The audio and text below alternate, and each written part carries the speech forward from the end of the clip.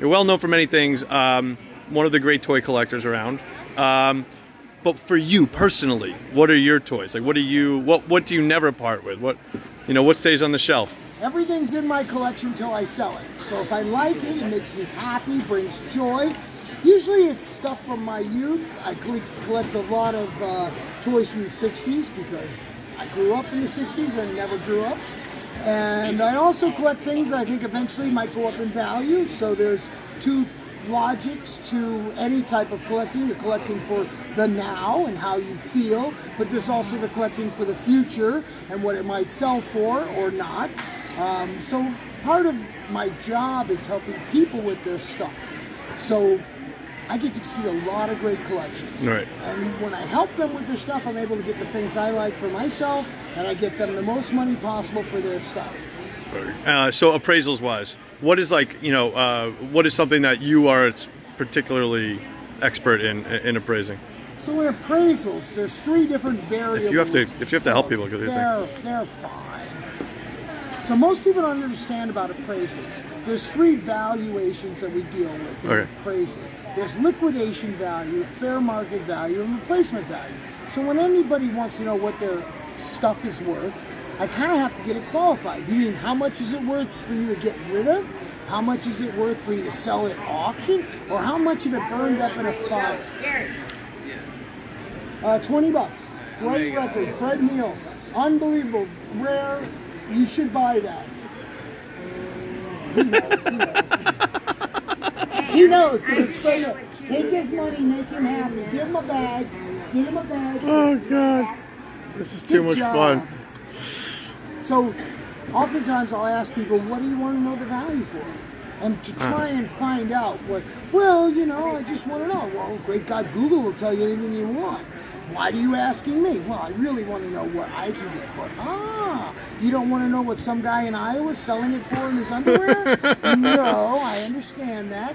So it becomes mostly next of kin. Okay. My job now is the three Ds downsizing, divorce, and death. Divorce. Because usually all three of them come into play. Gotcha. Most people, when they have to sell their collections, see they either died and the family has to get rid of it. There's a divorce, and they need to know the value because one person is going to buy the collection from the other, or they decide they got to sell it, and or in many cases, um, they just want to know for insurance value. Gotcha. When you ask why am I an expert in what things I'm an expert in, I'm an expert in popular culture, rock and roll, and childhood stuff. So anything that, um, and again, we have this nostalgia curve. So childhood stuff might be my childhood, it might be my child's childhood, right. because that just keeps evolving, and you can't put a, a end cap on nostalgia. So I got just a couple more for you here. Uh, so I, it's an interesting time for in collecting. I just drove. I, I uh, listen. When I'm really going to do an estate sale, I'll sleep over. But I figured I saw one that was near here. In Marlboro? Yeah, swing by on the way on the way up. Right. 10:30. There's still 350 people outside. It's a new era. Uh, as an as an OG of this world, you know, where does the where does the the convention fit into everything? Seems to me like a better place than it used to be to to get stuff as a collector. I don't know. Um, and, and, you know, what do you just think? You know, what are your thoughts on just everything on the the frenzy right now? So, a lot of the different levels of collecting uh, broke up and changed when internet kind of made it that you could shop from your bedroom. And so, what's the question? Two pairs first. Do it. All right, I'll be over there. Let me just finish this. I'll be right there. Yeah, we'll do this one. So, these different levels evolved because of online shopping. So, many people prefer to touch it, see it, inspect it, and not buy it online. There's the separation. Now, what level of one or the other. There's people that'll buy online because they don't want to go travel and they trust the people they're buying from. So, you know, there's online auctions. Most, like LiveAuctioneers and Proxibid are running thousands of online auctions every month from different small auctioneers all over the country, all over the world. People can buy through those. But the people that come to conventions and Comic Cons and go to Brimfield Flea Market or go to these places, they are two different levels of that. Those that want to get it for as cheap as possible, they don't really care about uh, what it's worth, they just want it for themselves, they want to pay the lowest price. Then there's the investment crowd.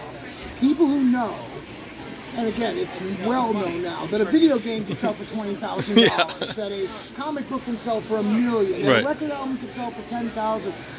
Now they're all like trying to learn, so they come in here and they have their phones and they look the stuff up. Wow, what's it selling for on Fleabay?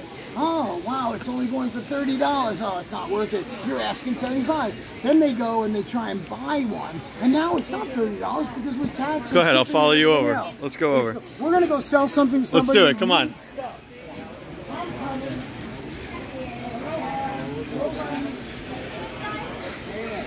You have extraordinary excellent taste. Oh, Which one? Oh well, this one's nine hundred, and this one I'd sell you for a hundred. this is What, a what's 900? This is a 1967 headshot poster. Aloha! Welcome to the dance. This is my stuff that I sell. All this kind of cool crap here. I'm buying all kinds of stuff. You are? Did you find Dancing Puppy? So did, did, did Nathan taking care of the puppy? Yeah, he's good in the vet. Okay, good. Yeah. Yeah, so this is the kind of stuff I sell. I sell weird stuff to weird people. It's it's a job. Uh, you having fun yet? Yeah. Excellent. Cool. So if you see anything in my booth you want, I can discount it because I'm the hippie in charge. Absolutely. I love the hippie in charge. Good This day. is our day. This is I'm our with the day. boss here right now. Very cool. We're having a great time. Tara, do you collect anything? Are you a collector of uh, anything in particular? I collect everything. And what's the dog's name? This is Bella. Hey, Bella. Bella. She's a sweetheart. Such a good girl. Uh, the milk one is uh, thirty dollars. Anybody pick it because it's loaded. It's loaded with the fruits. Good. Uh, No, go ahead. There was supposed to be two guys who did pressing, uh, comic pressing here. Yeah, the, the the one stop shop, that big mall right there. He's